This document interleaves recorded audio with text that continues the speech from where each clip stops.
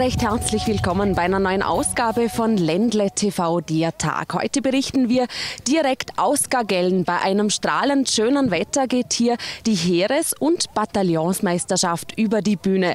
Bei mir ist nun General Heidecker. Herr General, was genau hat es denn mit dieser Meisterschaft auf sich? Sport ist für uns eines der wichtigsten, nicht nur Ausbildungsgänge, sondern wir brauchen den Sport, um die Einsatzbereitschaft herzustellen. Und wir können dann die sportlichen Leistungen in einem friedlichen Wettkampf messen. Das bedeutet, wir haben einen Aufbau in unserem Sportsystem von Kompaniemeisterschaften. Kompanie ist die kleine Ausbildungseinheit, über die Bataillonsmeisterschaften bis hin zu Militärkommandomeisterschaften und von denen kommen die Besten zu den Heeresmeisterschaften. Das heißt, der Sieger des heutigen Tages der Heeresmeisterschaft im Skibergsteigen ist sozusagen der beste Skibergsteiger des österreichischen Bundesheeres. Und es sind natürlich, das sind die Heeresmeisterschaften und für die Bataillonsmeisterschaften ist es das mit Masse hier in Vorarlberg beheimatete Jägerbataillon 23. Das heißt, es sind also Tiroler und Vorarlberger Soldatenrekruten, die hier diese Meisterschaft machen. Und was müssen Sie heute alles ganz genau meistern? Sie haben also einen relativ schweren und langen Aufstieg mit Fällen zu meistern. Sie haben dann einen Klettersteig, den Sie versichert durchsteigen müssen und auch eine kleine Skiabfahrt. Wie wird das trainiert? Äh, eigentlich durch die normale Sportausbildung, durch Laufen, durch, durch das Basistraining, wie wir das nennen. Und ansonsten, gerade im Winter wichtig, äh, durch Märsche im Gelände. Und Sie, Sie, müssen ja denken, die Vorarlberger Soldaten hier sind ja nicht nur äh, für militärische Einsätze hier, sondern auch für zivile Einsätze und werden auch für Lawinenabgänge und so weiter als erster Responser äh, gebraucht. Lawineneinsatzzüge zum Beispiel. Das heißt, die Burschen müssen schon eine Kondition haben, damit sie also nach einem Aufstieg auch die Arbeit, die verlangt ist, leisten können. Dann wünschen wir eine unfallfreie und erfolgreiche Meisterschaft und Ihnen noch viel äh, Spaß hier heute in Vorarlberg. Vielen Dank für das Gespräch. Danke. Tausende Versicherte in ganz Österreich halten seit einigen Wochen besonders unfreundliche Post und sind geschockt. Die Schreiben der Versicherungen informieren ihre Kunden darüber, dass sie einen satten Verlust einfahren und das trotz einer vereinbarten Kapitalerhaltungsgarantie. Wie der ORF berichtet, bereitet der Feldkircher Hans-Jörg Vogel eine Massenklage gegen vorgebundene Lebensversicherungen vor. 700 100 Inhaber solcher Versicherungen hätten sich bereits angeschlossen. Und die Staatsanwaltschaft glaubt, dass sich ein Vorarlberger Musikschuldirektor auf Kosten der Schule privat bereichert hat. Eine Ex-Sekretärin habe ihm dabei geholfen. Beide weisen vor Gericht die Vorwürfe von sich. 25 Zeugen sind geladen. Drei Tage wird der Prozess dauern. Ob der einstige Direktor und die angeklagte Sekretärin dabei strafrechtliche Grenzen überschritten haben, wird sich voraussichtlich Ende März zeigen. Hinter uns richten Sie sich nun für die Bataillonsmeisterschaft. Wie viele nehmen denn heute genau hier teil, Herr Konze? Ja, es sind äh, 70 Gebirgsjäger des Hochgebirgsjägerbataillons 23, die in Blodesch und in Landeck stationiert sind dabei. Und davor sind bereits gestartet äh, 55 der Heeresmeisterschaft im Skibergsteigen, Gebirgssoldaten aus äh, dem gesamten Bereich des Bundesheeres, zwölf deutsche Gebirgsjäger des Partnerbataillons, der Gebirgsjägerbrigade 23 und auch fünf äh, Soldaten aus der polnischen Armee sind heute hier mit dabei. Jetzt haben wir gehört, dass ähm, die Soldaten auch speziell ausgebildet werden für Lawineneinsatzzüge, heißt es, glaube ich. Also sind wirklich gerüstet, wenn irgendwo eine Lawine abgeht, zum hier auch mithelfen. Wie schaut das aus?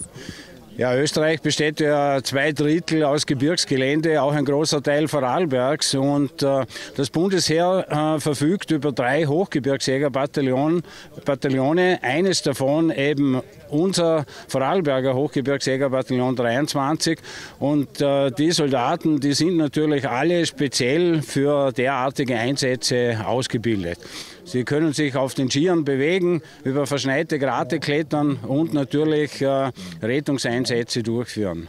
Und heute werden Sie Ihr Können hier auf dieser Strecke, die nicht ganz einfach ist, unter Beweis stellen. Ja, natürlich. Äh, man muss die Fähigkeiten immer überprüfen und das äh, bei so einem herrlichen Wetter in so einer schönen Gebirgslandschaft äh, spornt natürlich die Soldaten auch besonders an. Dann wünschen wir viel Erfolg heute mit der Heeres- und Bataillonsmeisterschaft. Vielen Dank, Herr Konzett, für das Gespräch. Dankeschön. Danke auch. Und bei uns geht es weiter mit den Meldungen aus der Welt des Sports.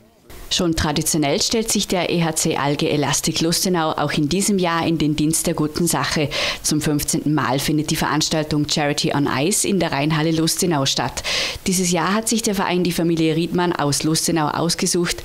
Dabei soll dem zehnjährigen Julian eine Delfintherapie ermöglicht werden.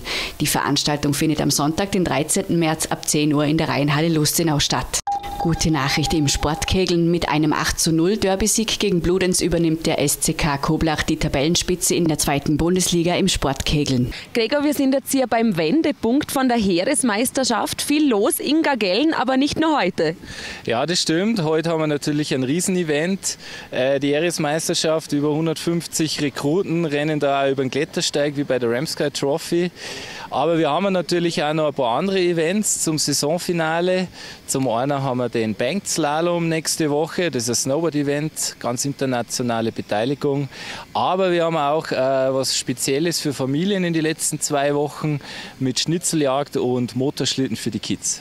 Seid ihr zufrieden mit der bisherigen Saison? Der Winter hat ja in diesem Jahr ein bisschen auf sich warten lassen. Ja, wir sind auf alle Fälle zufrieden. Äh, es stimmt, der Dezember war am Anfang ein bisschen zäh, sage ich mal, mit dem Schnee, aber da wir so hoch liegen, haben wir eigentlich immer die Talabfahrt schon seit Beginn offen gehabt und die Gäste hat es eigentlich schon richtig taugt.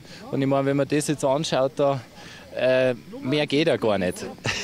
mehr geht nicht und der Schnee ist wirklich top. Ich meine, wir sind jetzt erst von hier oben hier runter gekommen. Ich konnte erst einige Schwünge machen, aber der Schnee und die Pisten sind bestens präpariert hier in Gagel.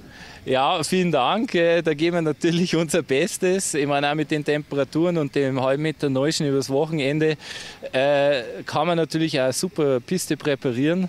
Und deswegen da ich vorschlagen, Bianca, fahren wir wieder Runden Ski. Ha? ich bin gern dabei. Vielen Dank, Gregor, das machen wir. Bei Ihnen geht es in der Zwischenzeit weiter mit den Schlagzeilen der Vorarlberger Nachrichten von morgen. Die Wölfe im Kalandertal bei Chur haben Glück, weil das Wetter milde ist und sie sich kaum in der Nähe menschlicher Siedlungen blicken lassen, sind alle acht Tiere noch am Leben. Das Schweizer Bundesamt für Umwelt hat bis Ende März zwei von ihnen zum Abschuss freigegeben. Das Land lud am Donnerstag zur Tagung mit dem Titel Neue Heimat oder bleibende Fremde.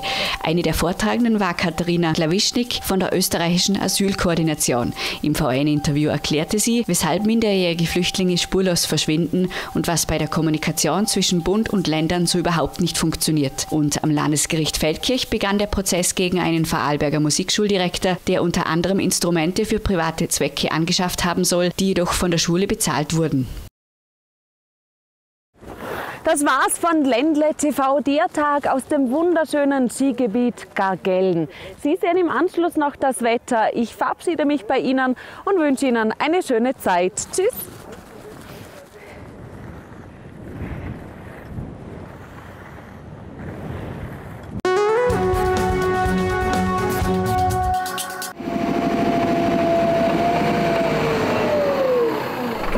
Servus miteinander vom Christberg im Silbertal. Ich habe eine super Loipe präpariert bei dem traumhaften Wetter und wer das Wetter die nächste Zeit wird, das zeige ich euch.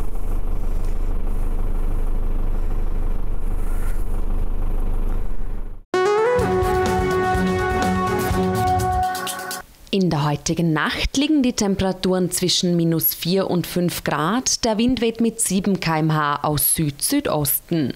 In den nördlichen Landesteilen ist der Himmel morgen wechselnd bewölkt mit tief hängenden, hochnebelartigen Wolken. Mit frischem bis stark böigem Nordostwind fühlt sich die Luft unangenehm kühl an. Oberhalb der Wolken sowie im Walgau und im Montafon bleibt es tagsüber recht sonnig mit einigen hohen Wolken über den Gipfeln. Am Samstag ändert sich nur wenig am Wetterbild. Vor allem im Norden bleiben hochnebelartige Wolken ein Thema. Dazu weht lebhafter, unangenehm kühler Nordostwind. Über den Wolken sowie im Montafon bleibt es überwiegend sonnig. Am Sonntag steigt die Wolkenobergrenze über 2000 Meter. Ein paar Regentropfen und Schneeflocken sind nicht ganz ausgeschlossen. Und am Montag ist es heiter bei Temperaturen von 0 bis 6 Grad.